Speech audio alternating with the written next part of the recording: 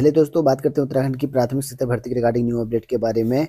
तो अब यहाँ पर अस्थायी तौर पर प्रति पीरियड के हिसाब से रिक्त पदों पर भर्ती रखा जाएगा, लेकिन बी वालों को शिक्षक भर्ती में शामिल नहीं किया जाएगा। शिक्षा मंत्री का एक बड़ा फैसला आपको यहाँ पर देखने को मिलेगा आज की अपडेट में। चलिए जानते हैं पूरी डिटेल के बारे में।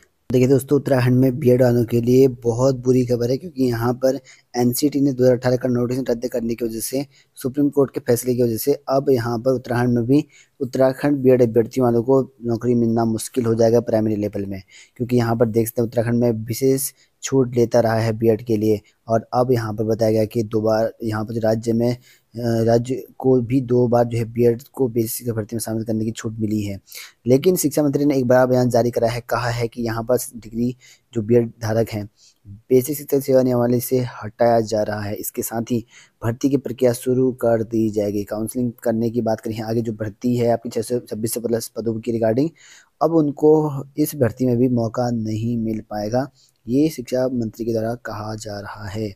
और यदि किसी स्तर पर जो है शिक्षकों की कमी की बात आए, आएगी तो प्रधानाचार्य को जो है प्रति पीरियड के हिसाब से यहाँ पर अस्थायी शिक्षक की नियुक्ति का अधिकार भी दिया जा रहा है, जो कि डॉक्टर धनसिंह ने।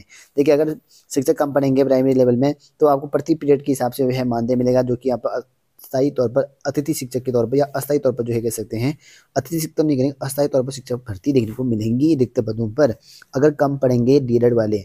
और लेकिन इसमें शिक्षा मंत्री ने कहा कि बेसिक शिक्षा भर्ती से बी वालों को हम हटा देंगे।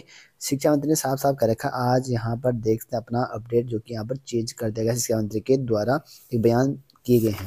अब देखने वाली बात है कि कब तक काउंसलिंग करते हैं, कब तक ये प्रोसेस आगे चलाते हैं, लेकिन कहा है कि हम बी को हटाएँगे, उसके बाद यहाँ पर जो है आगे प्रक्रिया करने वाले